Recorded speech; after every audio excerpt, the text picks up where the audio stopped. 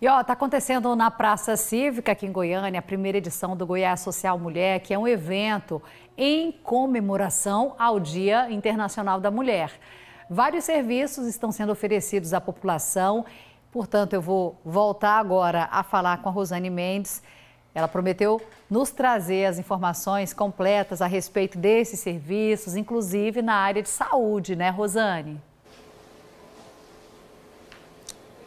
Pois é, Suelen, estou inclusive aqui, olha, juntinho, onde faz o pessoal está vindo aqui fazer o exame de mamografia. Por quê? Toda uma estrutura foi montada num caminhão itinerante está atendendo aqui na Praça Cívica. O pessoal já está aqui aguardando atendimento, o pessoal da recepção aqui já preenchendo as fichas, porque elas passam primeiro por um exame, fazer o exame de prevenção à mulherada que está precisando fazer o exame. Vou até mostrar para vocês a salinha aqui, onde elas passam pela consulta, que parece bem com o hospital mesmo. Olha só que gracinha. Tem aqui a maca, tudo bonitinho, a, a, a doutora ali esperando para atender as pacientes. E agora vou chegar aqui na superintendente da mulher justamente para explicar para a gente é, esse tipo de serviço totalmente gratuito. O que, que a mulher que chega aqui precisa fazer, superintendente, para ter direito a esse tipo de serviço? Bom dia. Bom dia. Sim, esse serviço é totalmente gratuito. Ele vai ser ofertado aqui durante toda a semana, né, onde está acontecendo Goiás Social, até sexta-feira.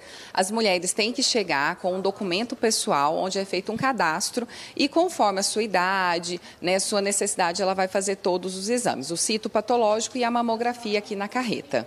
Lembrar que não, bom lembrar que não é só é, esse tipo de serviço que está acontecendo aqui. Também tem testagem é, para outros tipos, outros tipos de exames que estão acontecendo ali fora. Sim, nós estamos fazendo a testagens para IST/AIDS. Então a gente tem a testagem na hora, né, com o resultado. Temos também práticas integrativas que estão acontecendo durante todo o período em relação à auriculoterapia, orientações, informações.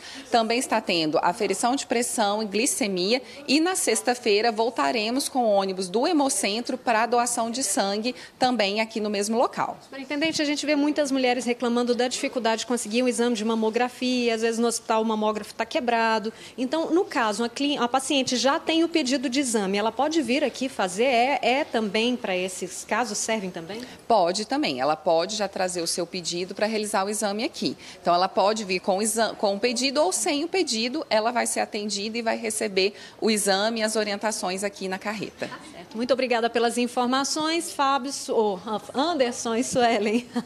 Só lembrando que começa às 8 da manhã, vai até às 5 da tarde o atendimento aqui na Praça Cívica.